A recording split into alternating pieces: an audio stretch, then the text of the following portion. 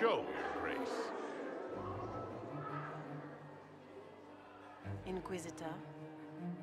The eyes of every noble in the Empire are upon us, your grace. Remember to smile. This is your party. You wouldn't want them to think you had lost control. Who would not be delighted to speak with you, Inquisitor? I seem to recall you saying, all I needed was to keep you out of the ballroom long enough to strike.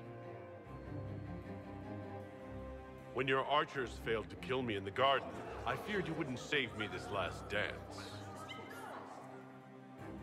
It's so easy to lose your good graces. You even framed your brother for the murder of a council emissary. It was an ambitious plan.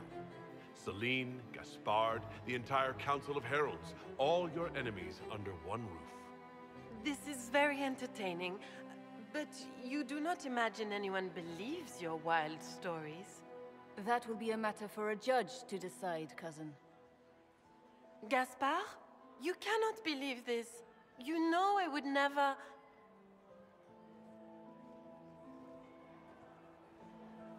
Gaspard?